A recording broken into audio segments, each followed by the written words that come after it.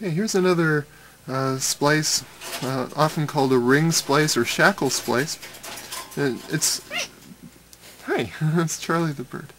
It's uh, essentially based on uh, on the back splice that I showed you earlier, starting with a, a crown knot. And uh, so I, I'm gonna pick the ring just because I kind of like it. So the idea here is that we're going to splice the rope uh, onto the ring, and it's you know, it's quite true. You could you could do this quite simply with a with an eye splice, like just a regular eye splice, and you know, it would work just fine. Um, but this ring splice is a little bit uh, nicer for this application in that once we're done with it, um, the the the uh, the rope will be essentially tied to the ring and then spliced down, and uh, it makes a nice tight grip on the ring, and where there's a nice tight grip and not a lot of moving you know, back and forth, there's not much chafe. And uh, so this will tend to last a little bit longer before the, the, the rope wears out than uh, just a regular eye splice. So the way we'll, uh, we'll start with this is uh, perhaps we'll, we'll go with uh, two strands in front and one strand in behind. And we're going to be doing this uh, exactly the same way that we did our back splice, um, using a, a, crown knot. Um, just uh, slightly more complex in that we're going to be going through the ring as we do this uh, uh crown knot. So just as, as, with the crown knot, each uh, each end goes over top of its neighbor and points downwards. Uh, we're just going to be passing through the ring. So we'll start with we've got two on the near side and one strand on the far side. So we'll start with the, the near side. Right hand, side, uh, right hand strand is going to pass through the ring and over top of its neighbor.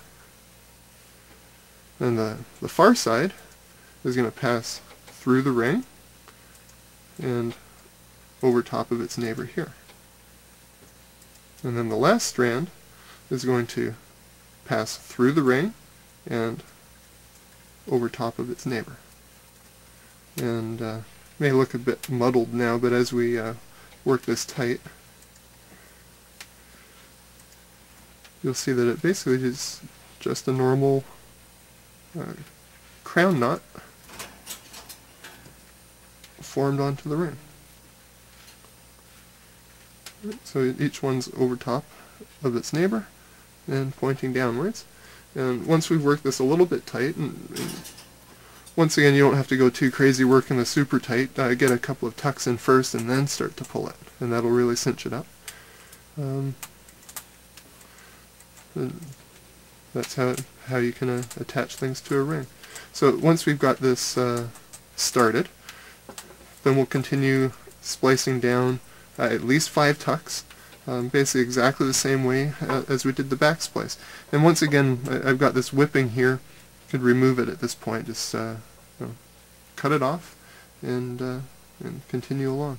I'm going to leave it on here just because I'll probably be be reusing this in uh, in a few more minutes. Actually, before I do that, how about I just show this uh, the beginnings of this once again.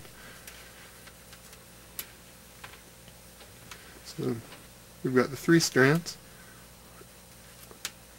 two facing you, or on the near side, one on the far side. The right hand one goes through, over top of its neighbor. The far side one comes through, over top of its neighbor. And the last one goes through the ring and over top of its neighbor.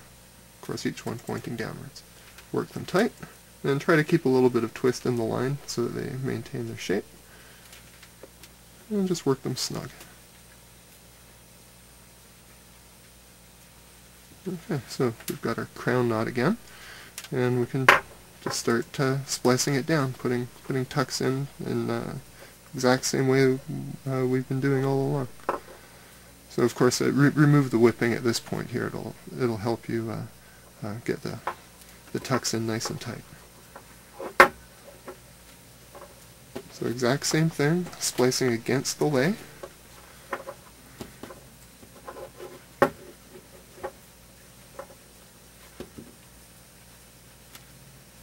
And trying to keep a little bit of twist in the rope. And the same sort of thing. So I'll just uh, do a couple more tucks so you can see the, the finished the finished product.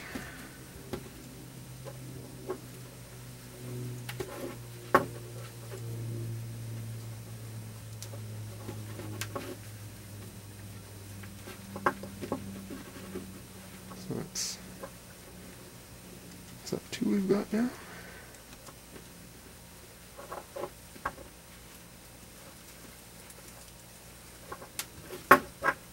You can see once you practice this a few times, it really only takes a couple of minutes to do this.